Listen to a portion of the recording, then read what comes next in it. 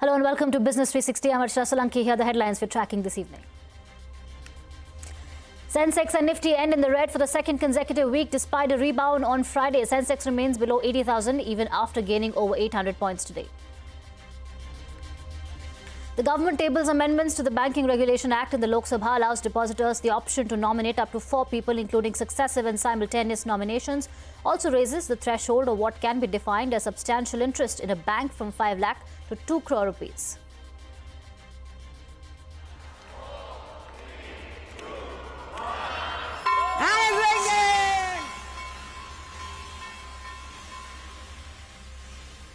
Ola Electric jumps over 17% after listing at the issue price of 76 rupees. Chairman Bhavish Aggarwal tells CNBC TV 18 that e-scooters already account for 15% of the scooter market and was going up. The street now looks forward to the unveiling of its e-bike plan on August 15th. Former Deputy Chief Minister of uh, Delhi, Manish Sisodia, set to walk out of jail after 17 months. Supreme Court grants bail in the excise policy case. Apex Court rules the long period of incarceration without trial would be in grave violation of fundamental rights. Pulls up the High Court and Trial Court for playing it safe by denying bail. Former US President Donald Trump is leading Kamala Harris by just 2 percentage points in the presidential race, according to a CNBC survey. Even as Harris gains ground, the poll shows Trump holds a substantial lead on the economy. Both Trump and Harris have agreed to a debate in September. A renewed push for a ceasefire in Gaza. The United States, Egypt, and Qatar call on Israel and Hamas to resume negotiations by the 15th of August. Israel tells residents of Khan Yunis to evacuate once again as it prepares for another assault. Nobel laureate Muhammad Yunus led 17 member interim government takes charge in Bangladesh. Yunus himself will oversee a number of crucial ministries, including defense, education, and food ministry, as per the last data available. Awami League's government leaves a per capita debt of over 1 lakh Bangladeshi rupees.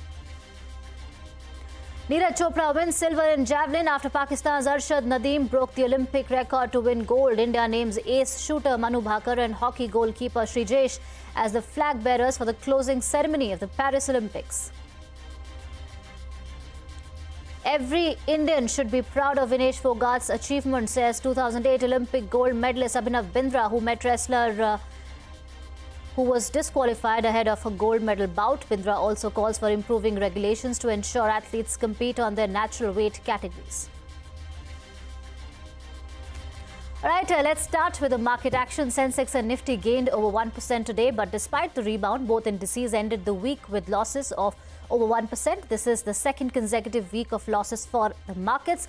In the money market, the rupee remains on a tight leash, trading below the 84 mark against the US dollar. The rupee has remained closer to its all-time low all through this week. Right after hitting record levels in June, the inflow into equity mutual funds dropped by 9% in July. SIP inflows, however, came in at a record high. Sonal Bhutra is here with the Mutual Fund July report card. Over to you. July was a very interesting month. We had big events, the likes of budget, and this came in just after that rally post the election results as well. So it's been quite volatile as far as the numbers are concerned. Uh, in July, the equity flows, they ebbed and we saw a lower number versus the June number. So equity fund flows came in at 37,113 crore rupees, which compares with the number of 40,573 crore rupees in the month of June. Now, equity fund AUM, that came in at 29.33 lakh crore rupees. And interestingly, again, these are the sectoral funds which have contributed to majority of the equity AUM as well.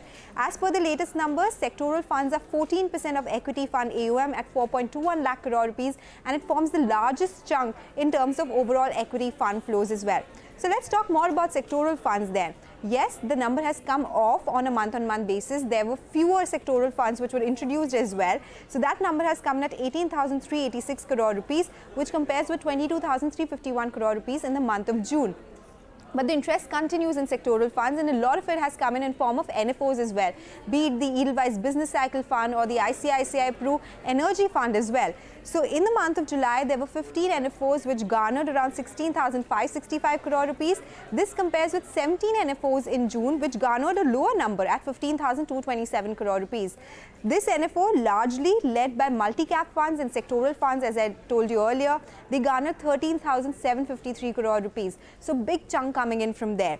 Uh, now let's talk about the other numbers. Large caps, the inflows have come down to 670 crore rupees versus 970 crore rupees. Similar is the story with mid caps. That's where we saw the inflows of 1644 crore rupees. This compares with 2528 crore rupees. Small caps largely stable at 2100 crore rupees. This compares with around 2200 crore rupees. Now the gross SIP number, it is at a record high. That continues to be the case. July gross SIPs at 23,332 crore rupees, which compares with 21,262 crore rupees. This is on a month-on-month basis, but very important to understand the net SIP number because there have been a lot of redemptions as well.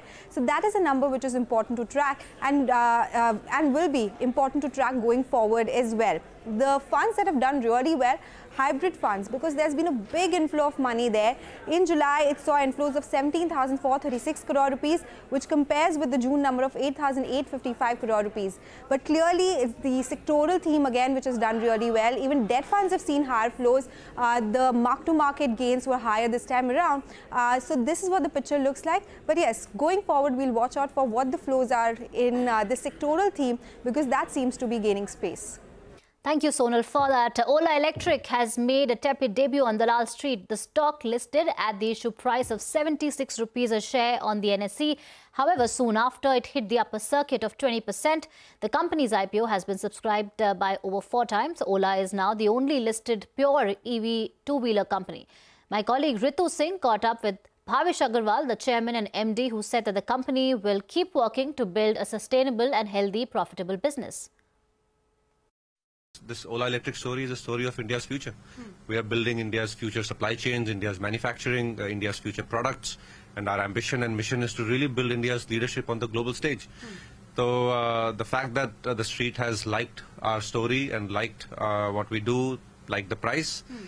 is a is a very strong uh, positive. Uh, price will move up and down. I'm learning the ways of the market, yeah. And we will keep doing our work. We'll keep focusing on building good business, building uh, strong products, good products, building a sustainable uh, business also, and uh, hopefully creating wealth for investors in the long term. The broader uh, story that's playing out here is uh, the penetration story of electrification of EVs in India. Three years ago when we started, almost to the day, EV penetration in two-wheelers was almost zero. Now it is 6-7% uh, overall, and within scooters, where all the action has been over the last two years, it is 15 plus percent and the scooter penetration month on month is only going up. Yeah. Two years ago, the government used to give 60,000 rupees in FAME subsidy. Uh, now they give 10,000. Yeah. And the industry, not just us, but the whole industry has adjusted very well. They've rejigged the cost structures, and the industry continues to grow with reduced FAME.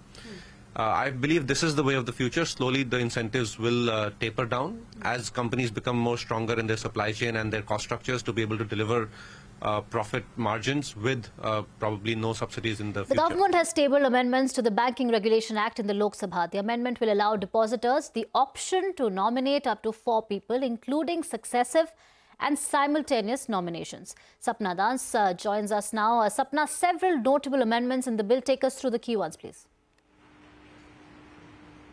Well, this is something that the finance minister had already spoken about uh, in her FY24 budget speech, wherein uh, she had made it very clear that for the convenience of investors and depositors, certain amendments will have to be brought to the banking law uh, bill, to the banking laws, uh, which would entail changes, simultaneous changes in RBI Act, SBI Act, um, you know, the Banking Acquisition Act, uh, so on and so forth.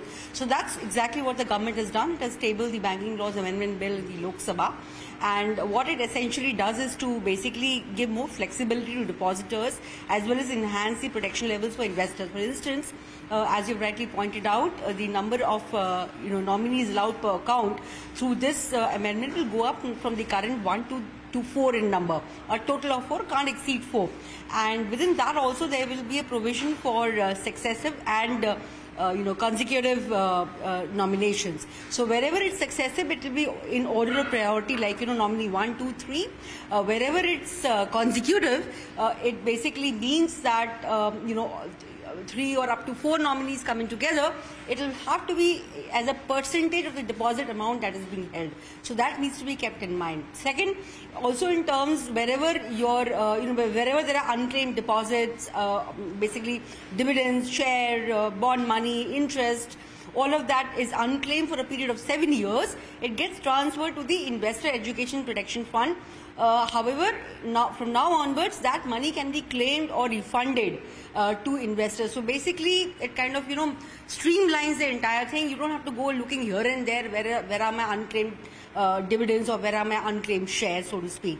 Third, of course, uh, also it makes certain rules uh, for the banking system as a whole makes it tighter in terms of bank reportage to the Reserve Bank of India in terms of the statutory requirements, statutory reports. Uh, you know, as of now, it was every reporting Friday, but now the dates are changed, uh, or rather they are proposed as you know the last day of every uh, fortnight uh, every month or every quarter and all the banks will have to have the same timeline. You cannot have certain banks following one timeline and other banks following another timeline. So this brings consistency in the reporting of important information to the banking regulator.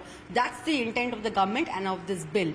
Uh, of course, other provisions, it gives also flexibility to the banks to uh, you know, basically uh, give um, a, a market-linked uh, remuneration uh, to hiring of auditors. So it makes it more competitive. They can actually go ahead and get the best talent in the market. This will help to improve the quality of audits. So that's the intent. Last but not the least, also in terms of substantial interest, uh, you know, that is being redefined because the last value was fixed sometime in 1968. Uh, so it was at that point in time 5 lakh odd rupees. This is now being going to be raised to around 2 crore rupees. So these are some of the uh, major uh, takeaways. Of course, uh, in terms of the nomination, the number of nominees going up for bank accounts per bank account, yeah. I think that will be of great interest for consumers across the sector. All right, uh, thank you, Sapna, for that uh, update. On to a CNBC TV 18 exclusive. The race to acquire more than 60% stake of CVC Capital in Healthcare Global is in its last lap. Sources have told CNBC TV 18 that private equity firm Bain Capital and Abu Dhabi-based company Burjeel have likely submitted their binding bids for the stake. CVC's stake sale will trigger an open offer and the deal size is likely to be around 5,000 crore rupees if the open offer is fully subscribed. Shares of Godfrey Phillips surged more than 6% in today's trade. This after the company reported a 26% jump in cigarette volumes in the first quarter as compared to the same period last year. This volume growth is higher than uh, Godfrey Phillips's uh, peers ITC and VST Industries. And uh, on another note, Samir Modi was ousted from the board this week amid a family feud over the control of group companies. The other directors did not support his reappointment. The big national story that we are tracking, the Supreme Court today granted bail to Delhi's former Deputy Chief Minister Manish Sisodia in the liquor excise policy case. Sisodia has uh, spent 17 months in the jail. The apex court, while giving its judgment, said that the long period of incarceration without a trial would be in violation of his fundamental rights. Ashmit Kumar is here with more on the court's verdict. Ashmit. Well, let's bear in mind that it was in the month of February of last year, 2023, when he was arrested by the CBI. He's been incarcerated, he's been behind bars, and that is something that weighed on the mind of the apex court. The Supreme Court said that keeping him inside the jail for an unlimited period of time is not something that is tenable, is not something that uh, the apex court can gloss over. The Supreme Court said the fact that the bail is a right that bail is the norm uh, going and that uh, not grant of bail is rather the exception. The fact that he's been incarcerated for 17 years and the fact that trial has not even begun these are sufficient grounds, the Apex Court believe, for granting him bail and for granting uh, immediate release of Manish Sisodia. Not just that, the Apex Court was also critical of the conduct of the ED as well as the CBI. Uh, the Supreme Court noted that in October of 2023, uh, they had said that the investigation will be completed in about seven to eight months' time. Uh, they had assured that the trial would begin, but the trial has not even begun. The Apex Court also noted that far from beginning of the trial, given the fact the large volume of documents in play, there are over 1 lakh digitized documents, there are nearly 500 witnesses. Given the scope of this trial, uh, the Supreme Court said that there's not even the remotest possibility of the trial concluding anytime soon. Not just that, the Apex Court also said that the alternative, which is uh, to send him to the trial court for granting bail, would be akin to making Manish Sisodia play a game of uh, snakes and ladders, and that that is not something uh, that the Apex Court will allow, that that would be a travesty of justice. And with these observations, the Apex Court granting immediate release of uh, Manish Sisodia. There are, of course, a few riders. He has to surrender his passport. There'll be limitations in terms of his movement. But the big story, of course, is that after 17 months of incar incarceration, the former Deputy Chief Minister of Delhi is set to walk out of the Tihar jail. Thank you, Ashmit, for that. On that note, it's time for a short break. Coming up next, every Indian should be proud of Vinesh Phogat's achievement, says 2008 Olympic gold medalist Abhinav Bindra, who met the wrestler who was disqualified ahead of her gold medal bout. More on that when we return.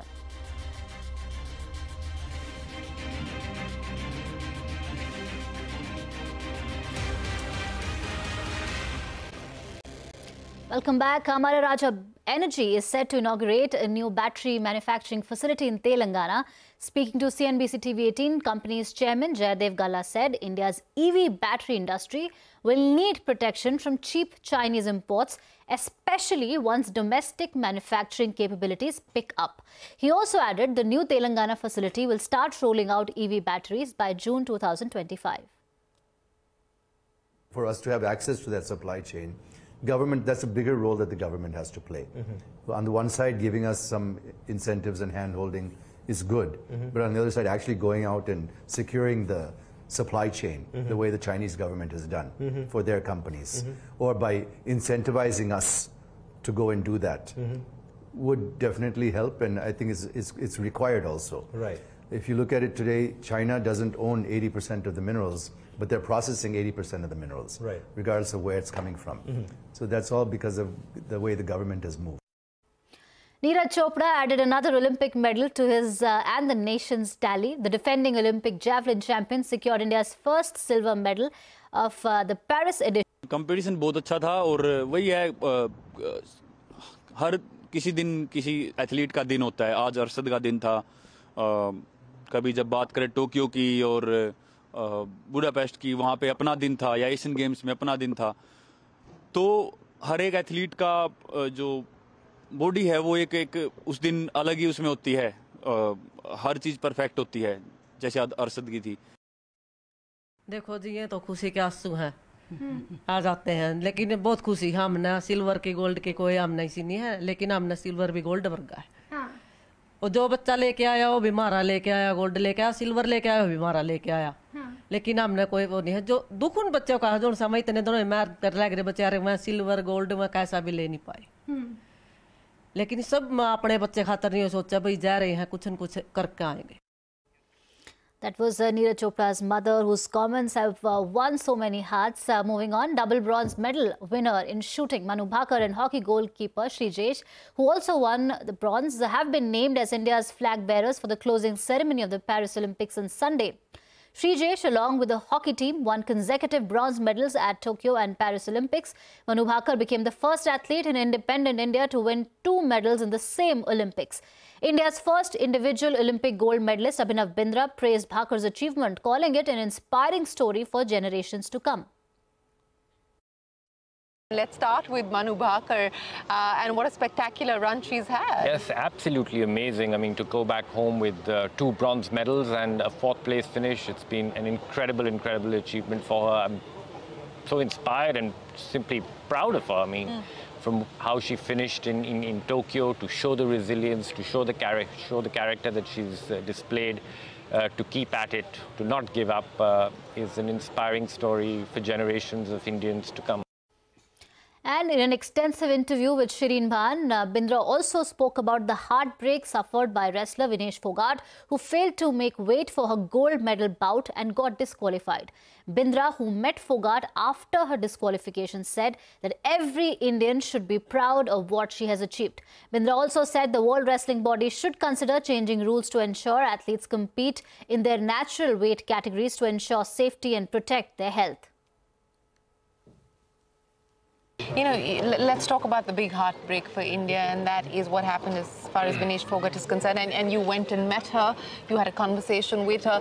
You know, while the post-mortem is underway on what happened, what could have been done differently, what went wrong, what wasn't done, and so on and so forth, uh, from a from an athlete's perspective, from from her perspective, and someone who's dealt with adversity and someone who's he, who's you know hit rock bottom and sort of risen up, what do you see uh, her her mental state at, this point in time? Obviously, she's devastated. Um, I can fully empathize with her. Uh, I can't even imagine what she would be going through. You know, I had heartbreaks uh, in my sports career, but you know what she's gone through, I can't even understand. I can't. I didn't. I met her, but I didn't even know what to tell her. Um, What did she say to you? no, I mean it was just general talk on, on you know you know on life uh, Yeah. and how life can be unfair and you know sport uh, sometimes Did, can did be she brutal. have an assessment of what went wrong? Oh, we didn't even get into Get into that, yeah. that, uh, but my I just went to Offer your support. support to her and, and, and, and to be there for her. And I think that's what she needs at the moment. And I think uh, the country must rally behind her to in these difficult times. Hmm. It's, it's, it's, it's a very, very, very difficult period for her. And, you know, she's gone through a tough period Yeah. with all what's happened in, in, in, in- in the course of the last year or so. And to come where she's come has been incredible. Yeah. It's been absolutely incredible. And India really should be very, very, very proud of her.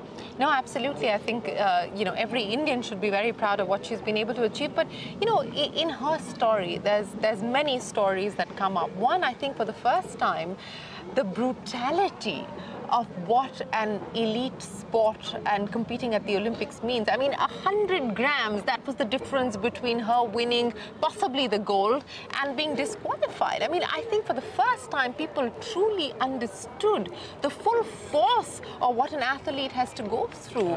Uh, it's know- not an easy business No, here. it's eh? not. It's tough, uh, and you know you put your heart and soul into it, and uh, sometimes that is the difference between winning and not winning, uh, disqualification or, or, or- being legitimate to, to be able to participate. Uh, sport is hard. It's very, very, very hard, and that's why you know India must look at failure very differently. I think Mm. society on its whole looks down on failure in India, and I think it's high time that you know society and, and, and the youth of the country become more sporting in nature. You have to, uh, yes, uh, you you want to go there and win, no question about that. You know, you want to put your best foot forward and, and be on the podium. But you know, there are 10,000 odd athletes here. Only 300 go back with gold medals. So uh, the, the the people who don't, they're not losers. They've gained. They've, they've represented your country. There are only 10,000 athletes here in the whole of. They're the 10,000 best athletes on this planet. So you can imagine how brutal the competition is. You can imagine how tough that competition is. And I think we have to just look at failure very differently. Uh, of course, we have to learn from it. We have to learn to fail well. We have to uh, un- take learnings out of um, every experience and, and try and get better. And, and, and, and sport is a human endeavor. Yeah. Uh, and uh, you have to keep going. You have to remain resilient. You have to remain patient. And you have to learn to remain positive and, and, and you have to back your athletes. You can't just be with your athlete when he When the she- going's good. When the going's good. That's very convenient. And, and, and that's not the way uh, we should look at sport and, and our athletes. Uh, we have to appreciate uh, sport very differently. And you can catch the exclusive conversation with Abhinav Bindra at uh, 6 p.m. and 9.30 p.m. right here on CNBC TV 18. With that is a wrap on this edition of Business 360 News and Updates. Continue right here on CNBC TV 18.